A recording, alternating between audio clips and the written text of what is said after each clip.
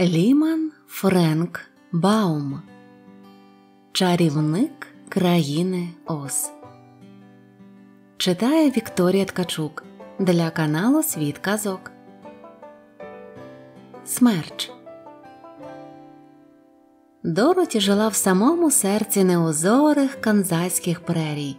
На фермі в дядечка Генрі та його дружини тітоньки М. Хатина їхня була зовсім маленька на одну кімнату, і збили її з дощок, які довелося здалеку вести сюди фургоном. У хатині стояли тісно одне побіля одного стара чавунна грубка, мисник, стіл, кілька стільців та двоє ліжок, велике дядечка Генрі тітоньки М в одному кутку, а маленьке Дороті в іншому. Горища в хатині не було, погреба теж, якщо не вважати за погріб вузьку яму яка звалася сховом. До схову всі троє могли залазити на випадок урагану чи коли б здійнявся грізний і могутній від землі до неба смерч, що змітає зі свого шляху геть усе, навіть будинки. Під ляткою, що була в підлозі, до темного схову вела драбина. Довкола ферми, скільки займеш оком, слалася одноманітна сіра прерія, і не було там жодної людської оселі, жодного деревця. Під палючим сонцем розорана земля запікалась, бралася змереженою тонкими тріщинами сірою кіркою. Влітку трава втрачала свої зелені барви, сонце висушувало високе стебло, знебарвлювало його так само, як і все навкруги. Колись хатина радувала зір свіжою фарбою, але на сонці фарба облупилася, її змили дощі, і сірі стіни немов би злилися з безрадісним краєвидом. Тітонька М приїхала сюди жвавою, гарненькою молодицею, але сонце та вітер не пощадили її. Вони пригасили веселі іскорки в тітончиних очах, висушили і знекровили колись рум'яні щоки вишневі уста. Тітонька схудла, згорбилась і навіть розучилась усміхатися. Коли до них приїхала сирітка племінниця Дороті, тітонька Ем спершу страшенно лякалася дитячого сміху. Зачувши веселий голосок племінниці, вона скрикувала і хапалася за серце. Чого б я отак раділа? чудувалася вона. Ніколи не сміявся й дядечко Генрі. Він зранку до вечора трудився в поті чола, але що таке радість, не знав. Дядечко теж був весь якийсь сірий. Здавалося, його з голови до ніг, від сивої чуприни, довгої сивої бороди і до стоптаних черевиків укривала сива пилюка. Завжди насуплений, завжди замкнутий, він навіть балакав знехотя, здебільшого ж мовчав. А знаєте, хто не давав Дороті нудьгувати? Хто весь час розважав її? То-то, ось хто не був сірий. То-то, маленький чорний песик із довгими шовковистими кудлами і чорними очицями, що весело поблискували обабіч смішного, блискучого, як гудзик, чорного носика. Цілими днями грався, і Дороті гралася разом з ним і дуже його любила. Сьогодні, проте, вони не гралися. Дядечко Генрі сидів на порозі і тривожно поглядав на небо. Дороті стояла на дверях із тото на руках і теж дивилася на небо. Тітонька М мила посуд. Ось із півночі до них долинуло басовите гудіння вітру, і дядечко Генрі з Дороті побачили, як за обрію по високій траві побігли хвилі, віщуючи бурю. Аж тут у повітрі розлігся пронизливий свист. Він долинав із протилежного боку, з півдня, і, глянувши туди, обоє побачили, що й звідти набігає вітер, котячи по траві хвилі. Дядечко Генрі рвучко підвівся. Не мене на смерч, Ем. гукнув він дружині. Я побіг до худоби. І він кинувся до повітки. Тітонька М випустила з рук казанок і підскочила до дверей. Визирнувши на двір, вона вмить збагнула, яка небезпека загрожує їм. Мерщій до схову. крикнула вона Дороті. Але тото вирвався в дівчинки з рук і чкурнув під ліжко. Дороті, звісно, полізла слідом, щоб витягти його звідти. Нажахана тітонька відкинула лятку і хутко спустилася по драбині у вузьку темну яму. Дороті нарешті впіймала тото за загривок і вилізла з під ліжка. Та до схову не добігла. Вітер зненацька страхітливо заревів, і хатину трусунуло так, що дівчинка не встояла на ногах і гепнула на підлогу. І тут сталося диво дивне. Хатина крутнулася раз, удруге і повільно здійнялася вгору. Дороті навіть подумала, що так напевно злітає в небо повітряна куля. Північний та південний вітри зійшлися саме над хатинкою, і вона опинилася у центрі смерчу. Всередині цієї величезної повітряної вирви ніякого руху не було, але під могутнім натиском двох вітрів, що зіштовхнулися, закружляли в шаленому вихорі навколо хатини, вона стіймалася вище й вище, аж доки опинилася на верхівці смерчу.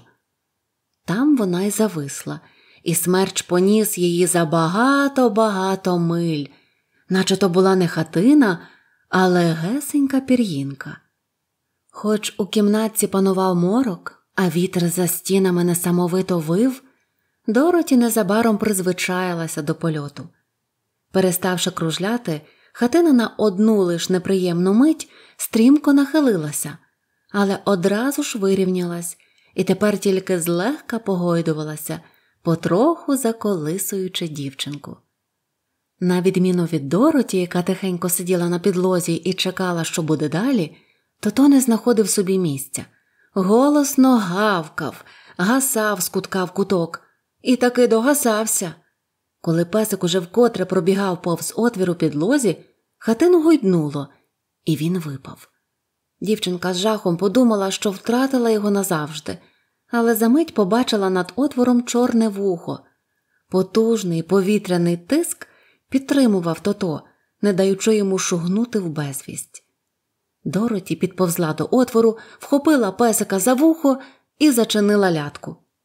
Години спливали, і дівчинка поволі заспокоювалася, хоч вітер за стінами вив так гучно, що можна було оглухнути. Дороті, звичайно, не могла не думати, що станеться з нею, коли хатинка впаде на землю, але час минав, нічого страшного більше не коїлося, і, зрештою, дівчинка вирішила чому бути, того не минути.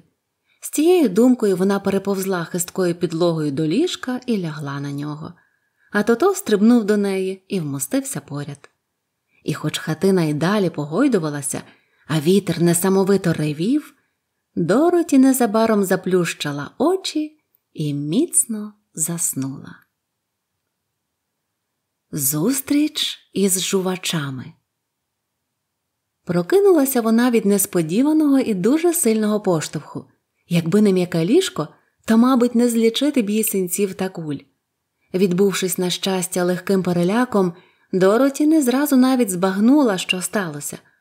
Але цієї миті песик тицнувся своїм холодним носом їй в обличчя і жалібно заскавчав. Дівчинка сіла і аж тоді помітила, що хатина більше не гойдається, і в кімнаті вже не темно. Її заливало яскраве сонячне світло. Зіскочивши з ліжка, тото, звісно, стрибнув слідом, вона підбігла до дверей і розчинила їх. Визирнувши, дівчина ойкнула від здивування, і що довше вона роздивлялася довкола, то більшими й круглішими робились її очі. Дивуватися й справді було з чого. Хатина приземлилась у напрочуд гарному місці. Навкруги буяв зелений сад, на струнких деревах рясніли великі соковиті плоди, око тішили пишні квітники, а над ними та між віттям дерев пурхали й співали яскраві різнобарвні пташки. Трохи віддалік серед зелені виблискував стрімкий дзюркотливий потічок. Звикла до сірого одноманіття прерій, Дороті вже й забула, що на світі існує така краса. Милуючись краєвидом, дівчинка раптом помітила, як до неї наближається четверо дивовижних істот, та таких, що їй не доводилося бачити зроду. На зріст вони були невисокі, але не зовсім малі, власне, такі, як сама Дороті, але віком куди старші за неї. А втім, вони вражали не так зростом, як вбранням. На голові в кожного, у жінки і трьох чоловіків були гостроверхі, не менше як півметра заввишки, капелюхи, оздоблені довкола криз дзвіночками. Що не крок, дзвіночки милозвучно дзеленькотіли. Чоловіки були в блакитних капелюхах, жінка в білому і в білій мантії, рясні зборки якої спадали з її плечей. Незліченні зірочки на мантії мінилися проти сонця, як коштовне каміння. Вбрання чоловіків кольором не відрізнялося від їхніх капелюхів, і тільки халяви до блиску начищених чобіт були темніші, сині. Дороті подумала, що чоловіки, двоє з них були бородаті, віком, певно, не молодші від дядечка Генрі, а їхня супутниця ще старша. Обличчя геть зморшкувате, волосся біле, біле, а хода така, наче ноги в колінах уже не згинаються. Зупинившись за кілька кроків від Дороті, чоловіки нерішуче затупцяли на місці, перешіптуючись і ніби не наважуючись підійти. Але маленька стара жінка остатечно наблизилася до дівчинки, низько вклонилася і співучо промовила Ласкаво просимо, о благородна чарівнице, до краю жувачів. Дякуємо за те, що ти вбила лиху відьму сходу і визволила наш народ із рабства.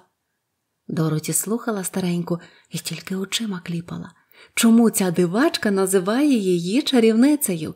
І про яку лиху відьму сходу йдеться? Про яке вбивство? Зовсім я не чарівниця, а просто дівчинка. Смерч закинув мене за тридев'ять земель від рідного дому, думала Дороті. І зроду я нікого не вбивала. Проте старенька, видно, чекала відповіді, і Дороті, повагавшись, проказала Щиро вам дякую за теплі слова, але, певно, сталася якась помилка, я нікого не вбивала. Ну, як не ти, то твоя хатина її вбила, всміхнулася жінка. А це, зрештою, те саме. Он, подивися. І вона показала на ріг хатини. Дороті глянула туди й зойкнула. З під будиночка стирчали дві ноги в срібних гостроносих черевичках. Ой, лишенько, сплеснула руками Дороті. Хатина і справді придушила когось. Що ж тепер робити? Тепер уже нічого не вдієш, спокійно відказала старенька. А хто ж це?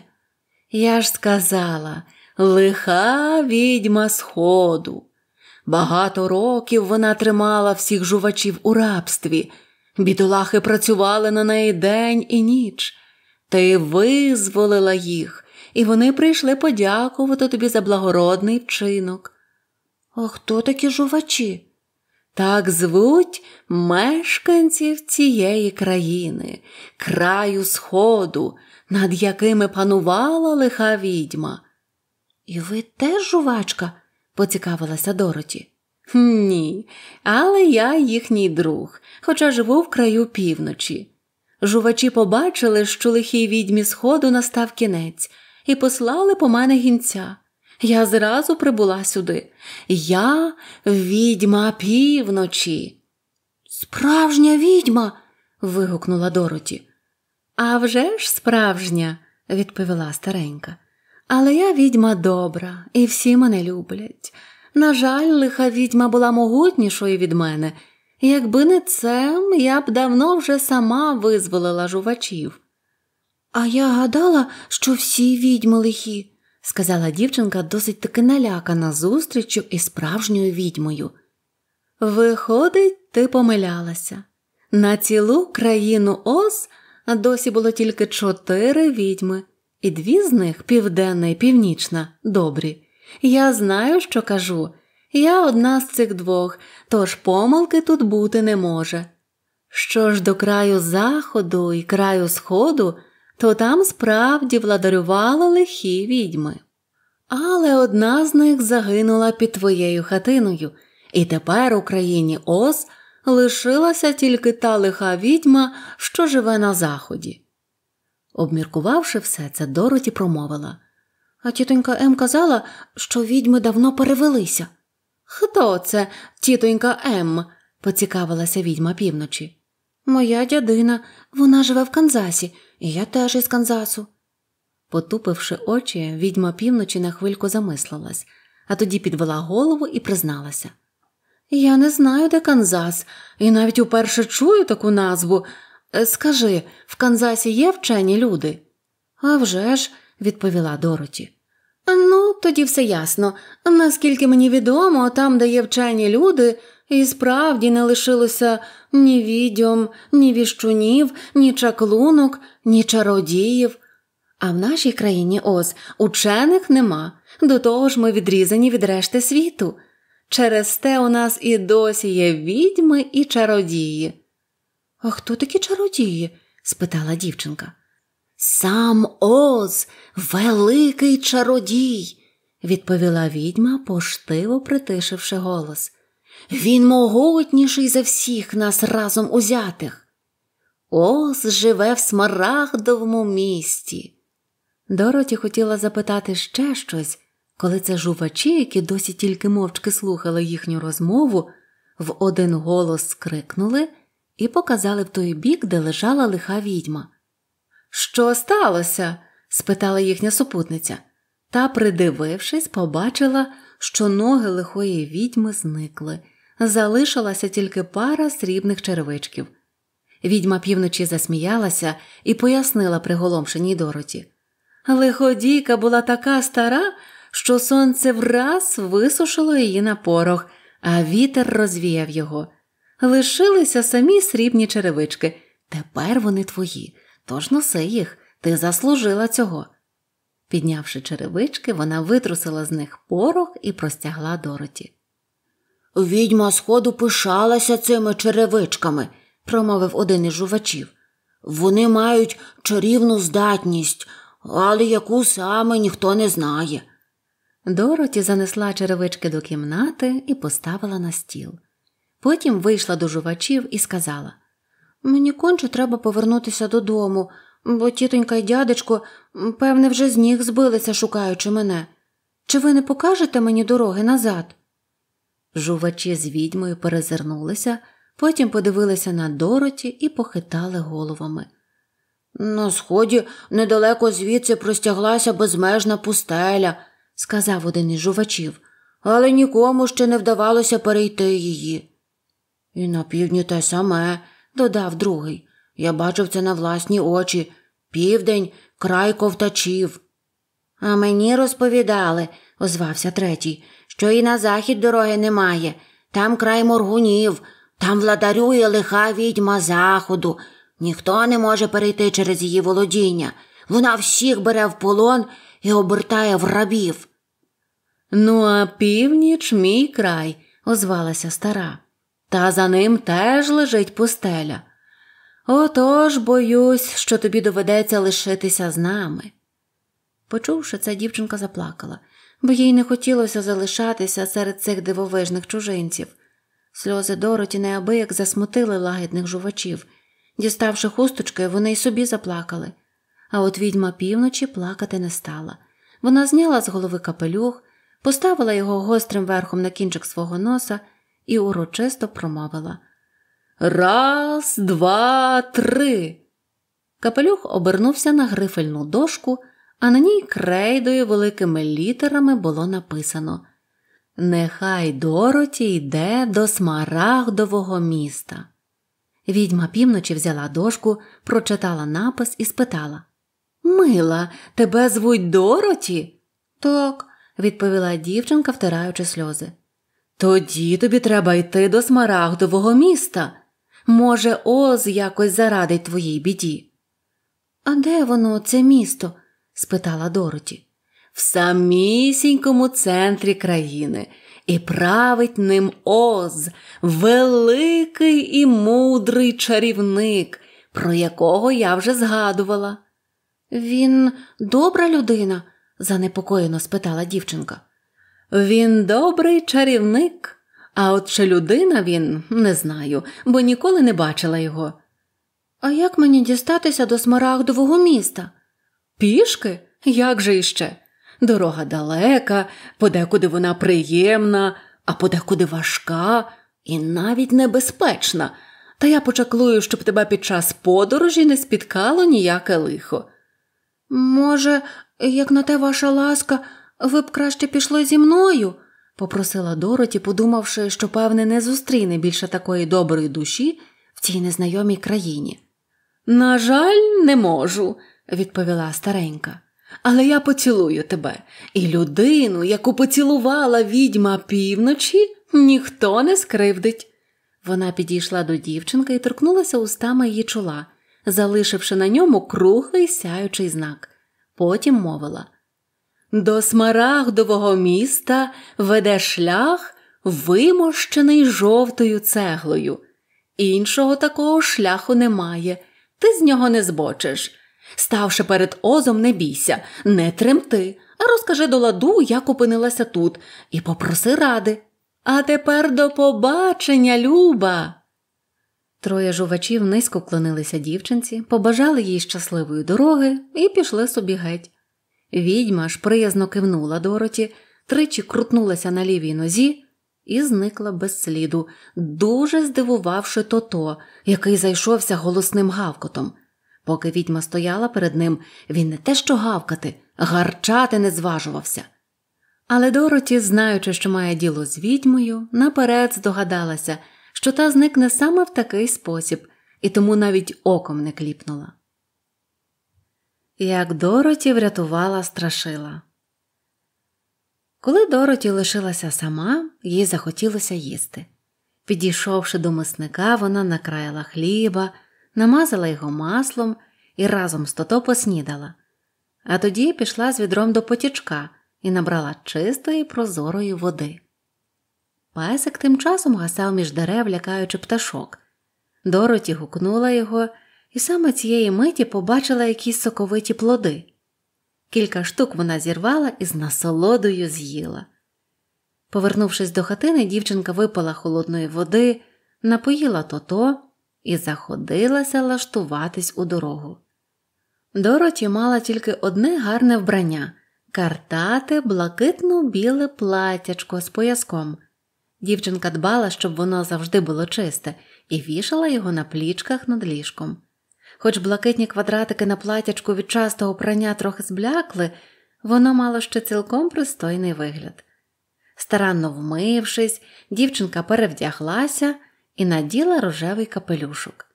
Хліб вона поклала в козубець і прикрила білою хустиною. Потім глянула на свої ноги і аж тепер побачила, що її черевики зовсім стоптались, а іншого взуття в неї не було. Ох, не витримають вони далекої дороги то-то, сказала Дороті, а пасик звів на неї чорні очиці і пометляв хвостиком, мовляв, твоя правда. І тут погляд Дороті зупинився на срібних черевичках, що лишилися від лихої відьми сходу, і тепер стояли на столі. Цікаво, чи прийдуться вони мені, сказала Дороті песикові. Для мандрів кращих не придумаєш, бо таким немає зносу.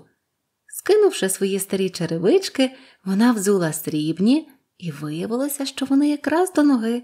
Тоді, взявши козубець, Дороті сказала Ходімо, тото, ходімо до смарагдового міста, до Великого Оза.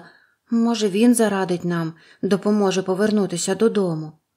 Вона замкнула двері, поклала ключ до кишені і у супроводі тото, який одразу споважнів, вирушила в дорогу. Поблизу будиночка сходилося і розходилося декілька доріг, але Дороті легко знайшла ту, що була вимощена жовтою цеглою і попростувала нею, весело цокаючи срібними каблучками. Сонце яскраво сяяло, пташки радісно співали, і Дороті, дарма, що була ще маленька дівчинка, яку смерч заніс на чужину далеко від рідного краю, зовсім не почувалася нещасною. Вона йшла і милувалася чарівними краєвидами, Обабіч шляху тяглися рівненькі паркани, пофарбовані у ясний блакитний колір. За ними слалися золоті лани пшениці і зелені городи. Видно, жувачі були гарні господарі і уміли вирощувати щедрі врожаї. Раз у раз Дороті проминала будинки, мешканці яких виходили подивитися на неї і низько вклонитися, бо всі вже знали, що це завдяки їй лиха відьма наклала головою, а їх визволено з рабства. Житла жувачів мали незвичайний вигляд. Це були круглі споруди, теж пофарбовані в блакитний колір, улюблений колір тутешніх мешканців. Надвечір, коли втомлена Дороті вже думала, де б заночувати, її увагу привернув будинок більше, ніж траплялися доти. На зеленій луці перед ним танцювало багато пар, а п'ятеро скрипалів, здавалося, змагались, хто гратиме гучніше. Всі сміялися і співали, а великий стіл перед будинком аж вгинався під тарелями з горіхами, пирогами, печивом, соковитими фруктами та іншими ласощами. Господарі вийшли вітати Дороті і запросили її на вечерю та на ночівлю.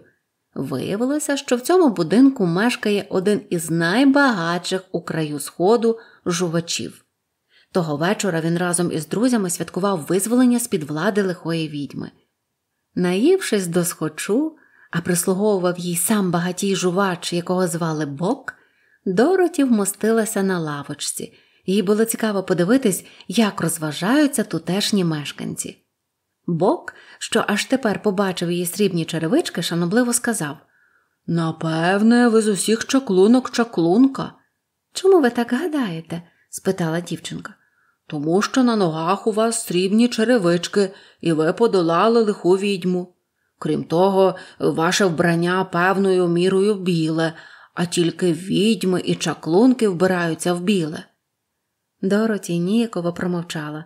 Всі тут, здавалося, мали її за чаклунку, а вона ж була звичайнісінька дівчинка, яку випадково заніс сюди смерч. Коли їй набридло дивитися на танці, Бог запросив її до будинку, де на неї вже чекала кімната з гарним ліжком, засланим блакитною ковдрою, і в тому ліжку Дороті проспала міцним сном до ранку. Тото спочивав у тій самій кімнаті, згорнувшись калачиком на блакитному калимку. За сніданком Дороті розважалася, спостерігаючи, як малесеньке дитинча жувачик грається з тото. Маля смикало песика за хвіст, сміялося і щось кумедно балькотіло. Тото взагалі був тут у дивовижу, бо жувачі ніколи не бачили собак. Подякувавши за сніданок, дівчинка спитала чи далеко звідси до смарагдового міста? Точно не знаю, бо ніколи там не був, відповів Бок. Кажуть, до Оза без діла краще не потикатися. Він не любить, коли йому надокучають. Мені відомо тільки, що йти туди треба не день і не два. Дорога пролягає через багатий і мальовничий край, але трапляються на шляху й перешкоди і небезпечні місця. Це певна річ занепокоїло Дороті, але знаючи, що тільки великий Оз може допомогти їй повернутися додому, вона твердо вирішила йти вперед і тільки вперед. Попрощавшись із гостинними господарями, Дороті рушила далі, жовтим, вимущеним цеглою шляхом. Вона йшла і йшла, а коли притомилася, вилізла на паркан, щоб за ним наглянути місце для перепочинку. За парканом вона побачила велике кукурудзяне поле, а посеред нього, на високій жердині, опудало, яке, очевидно, мало відлякувати птахів. Дівчинка задивилася на опудало, яке подумки назвала страшилом. За голову йому правив напханий соломою мішечок і щодернацьки намальованим на ньому обличчям. На голові стримів старий блакитний капелюх, колишня окраса якогось жувача. Мішечок було припасовано до напханого соломою зношеного і злинялого блакитного костюма, а штани заправлено в сині халяви чобіт, які тут носили всі чоловіки. Дороті придивилася до опудолового обличчя і з подивом побачила, що одним оком страшило раз у раз підморгує їй. Жодне опудоло в Канзасі моргати не вміло, і тому в першу мить дівчинці здалося, що це їй привиділося. Але тут страшило приязно кивнув її головою. Тоді Дороті зіскочила з паркану і підійшла ближче, а тото, нестямно гавкаючи, оббіг довкола жердини.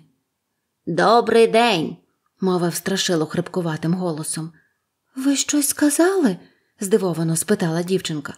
Еге ж, відповів страшило. Якся маєте? Дякую, добре. А ви? Про себе я такого не скажу, сумно посміхнувся страшило. Надто вже нудне це діло, день і ніч стирчати на жердині, відлякувати вороння. А злізти ви не можете? спитала Дороті. Ні, я ж настромлений на жердину. Якби ви зласкавилися зняти мене, я був би вам дуже вдячний.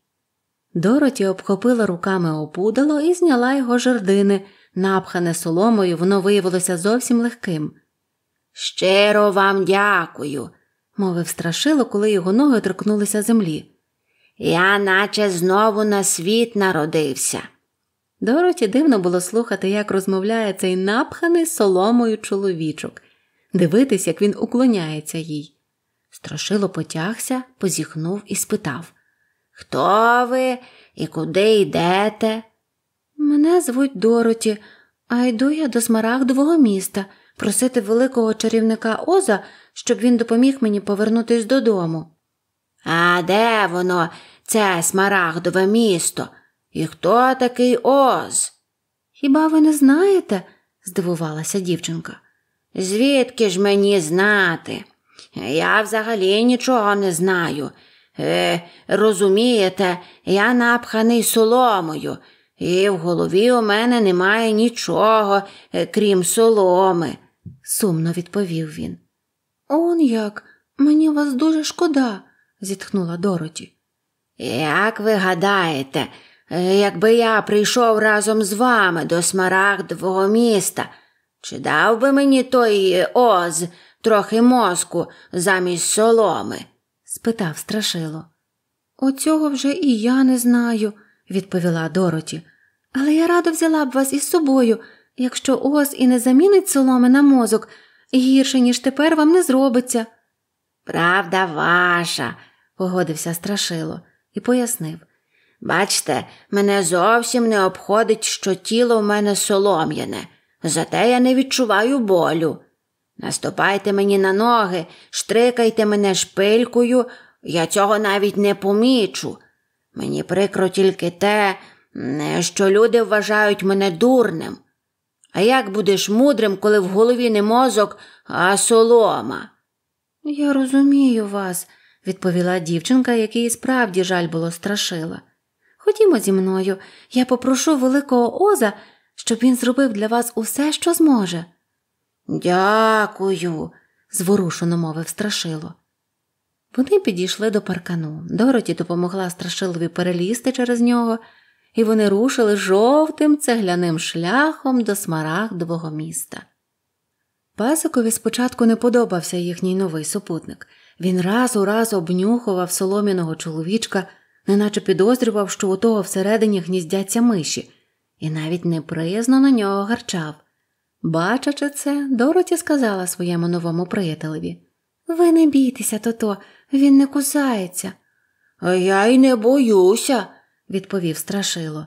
Навіть якщо він укусить, соломі це байдуже. Дозвольте, я понесу ваш козубець. Мені не буде важко, я ж бо ніколи не стомлююся. Хочете, я розкрию вам одну таємницю? додав він, узявши козубець. З поміж усього, що існує на світі, я боюся лише одного. Певно, того фермера, що вас злагодив, спробувала вгадати Дороті. Ні, відповів страшило, запаленого сірника. У лісі. За якийсь час дорога пішла вибоїста, іти по ній стало важче, і страшило почав спотикатися. Місцями жовті цеглини були побиті, подекуди замість них зяяли ями, які тото перестрибував, а Дороті обминала. Що ж до страшила, то він, не маючи мозку, весь час ішов навпростець і провалювався в ями або гепався до лілиць на тверду цеглу. Проте це йому не дошкуляло. Дороті піднімала його, ставила на ноги, і він разом із нею сміявся з власної нерозважливості. Ферми тут були бідніші, будинки й фруктові дерева траплялися рідше, і краєвид ставав чим далі непривітнішим. О півдні вони присіли над вузеньким струмком при дорозі, і Дороті, вийнявши з козубця хліб, запропонувала скипку страшилові. Той, однак, відмовився, пояснивши Я не відчуваю голоду, і добре, що не відчуваю, адже в мене рот не справжній, а намальований. І якби на тому місці було прорізано дірку, щоб їсти, солома полізла б назовні, і голова сплющилася б. Дороті кивнула, визнаючи, що він має рацію, і заходилася підполуднувати. Коли вона поїла, страшило попросив Розкажіть мені щонебудь про себе, е, про свою країну. Дівчинка розповіла йому про Канзас, і про те, яке там усе сіре, і про смерч, який заніс її до цієї дивної країни Ос. Уважно вислухавши її, страшило сказав Я не розумію, навіщо вам залишати нашу прекрасну землю і повертатися до того посушливого, сірого краю, е, який ви називаєте Канзасом. Ви не розумієте цього, бо в голові у вас замість мозку солома, відповіла дівчинка. Хоч би яким непривітним і сірим видавався наш рідний край, ми, люди, все одно не проміняли б його на інший, навіть найпрекрасніший. Немає країни дорожчої за батьківщину. Страшило зітхнув. «А вже ж, мені це не втямки, сказав він. Якби ваші голови були напхані соломою, як моя, ви б усі, певно, жили в мальовничих країнах, а Канзас лежав би безлюдний, як пустеля. Все таки Канзасу дуже пощастило, що у ваших головах є мозок. Може, і ви мені щось розповісте, поки ми відпочиваємо? Попросила Дороті. Страшило докірливо глянув на неї і відповів Я так мало прожив, що мені розповісти нема чого. Злагоджено мене тільки позавчора, і я зовсім не знаю, що діялося на світі до того. На щастя, фермер зразу ж намалював мені вуха. Завдяки цьому я міг чути, що відбувається довкола. Моєму хазяїнові допомагав приятель, і передусім я почув Ну, як, друже, подобаються тобі ці вуха? І відповідь вони вийшли в тебе одне вище, друге нижче. Ет, пусте, сказав мій хазяїн. Головне мати їх. Це були справедливі слова. Потім мій хазяїн оголосив а тепер намалюємо йому очі. Він почав з правого ока і тільки не домалював його, я глипнув на нього, а тоді подивився довкола. Я розглядав усе з великою цікавістю, бо це було моє перше знайомство зі світом. Бач, яке гарненьке око, зауважив приятель мого хазяїна. Блакитний колір для очей найкращий. Мабуть, друге око варто зробити трохи більшим, озвався мій хазяїн. І коли воно було готове, я став бачити набагато краще. Потім він намалював мені носа й рота. Я тішився, дивлячись, як вони роблять мені тулуб, руки, ноги. І коли вони нарешті припасували голову до тіла, я дуже запишався, бо вирішив, що став точнісінько таким, як і вони. Цей хлопець жодної ворони сюди не підпустить, сказав мій хазяїн. Дивись, як він схожий на нас. Хазяїн узяв мене під пахву, відніс на кукурудзяне поле і настромив на високу жердину, там, де ви мене знайшли. А потім вони з приятелем пішли геть. Не бажаючи лишатись на самоті, я хотів би податися слідом за ними. Та де там? Ноги не діставали до землі. Тут я занепав духом, занудьгував. Я ж навіть думати ні про що не міг, бо ж не було чим. Та ось я помітив, що ворони й інші птахи кружляють над кукурудзяним полем, а сідати бояться, гадаючи, що я нічим не відрізняюся від свого хазяїна. Це підбадьорило мене. Виходить, я все таки недаремно існую на білому світі. Аж тут підлетів до мене старий круг, покружляв, уважно оглянув мене з усібіч, а тоді вмостився на моєму плечі і каже Невже той фермер має мене за дурня? Та кожен круг, якому не бракує клепки в голові, одразу побачить, що те солом'я опудало. Потім він зіскочив униз і ну дзьобати кукурудзу просто в мене під ногами. Інші птахи, бачачи, що я йому ніякої шкоди не роблю, і собі злетілися на поле. Ну, це мене вже зовсім засмутило. Виходить, я жалюгідне опудало, та й годі. Але старий круг заспокоїв мене. Він сказав якби ти мав у голові мозок, а не солому, то був би не гірший за людей, ба навіть кращий за деяких із них. Розум ось найдорожче надбання на цьому світі і для птахів, і для людей. Коли вороння відлетіло, я обміркував ті слова і поклав собі будь-що придбати, хоч малесенький, а мозок. А тут, на щастя, з'являєтесь ви і не тільки знімаєте мене жердини, а й подаєте надію, що великий чаклун Оз наділить мене розумом. Я певна, що ви доможетеся свого, серйозно промовила Дороті. Адже вам так хочеться стати розумним. «А тож, страх як хочеться, зітхнув страшило. Знали б ви, як неприємно усвідомлювати, що ти дурень. Ну що ж, рушаємо далі, сказала дівчинка, віддаючи козубець страшилові. Обіч дороги тепер уже не було паркану, а лежала гола кам'яниста земля. Надвечір вони підійшли до дрімучого лісу. Величезні дерева росли в ньому так густо, що їхнє віття перепліталося над жовтим цегляним настилом. Зелені шати майже не пропускали світла, і в лісі панував напівморок. Але наших мандрівників це не спинило. Коли дорога заводить кудись, то вона має і вивести звідти, зауважив страшило. Оскільки ж цей шлях закінчується в смарагдовому місті, то нам треба йти ним, куди б він не вів. Це кожному ясно, сказала Дороті.